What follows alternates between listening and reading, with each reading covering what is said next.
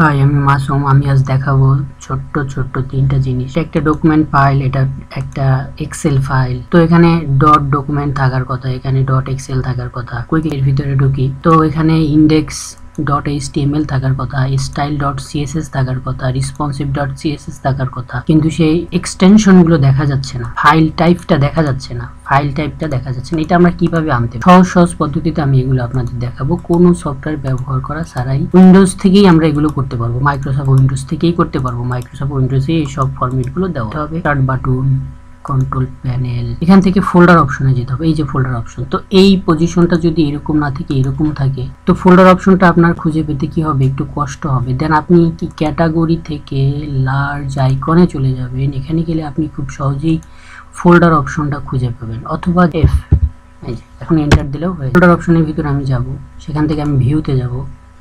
ভিউতে গেলে এখানে শো করবে হাইট হাইট টিক দেওয়া আছে, আমি হাইটটা উঠাই দিলাম। তা আমি হাইট এখন উঠাই দিছি ফাইল টাইপসগুলো এখন শো হবে। ফাইল টাইপসগুলো দেখা যাবে। অ্যাপ্লাই ওকে এখন ফাইল টাইপসগুলো দেখা যাচ্ছে। ওয়ার্ড ফাইলের শেষে ডিওসিএক্স এক্সেল ফাইলের শেষে এক্সেল আমি যদি কুইক স্টার প্যাকের ভিতর ঢুকে, এই যে ইন্ডেক্স এইচটিএমএল তারপরে zip file CSS dot CSS সবগুলো দেখা তো আজ এই পর্যন্তই। ধৈর্য ধরে টিউটোরিয়াল দেখার জন্য ধন্যবাদ। যদি ভালো লেগে থাকে, তো শেয়ার করবেন লাইক দিবেন কমেন্টস লিখবেন সাবস্ক্রাইব করতে ভুলবেন না প্লিজ লাভ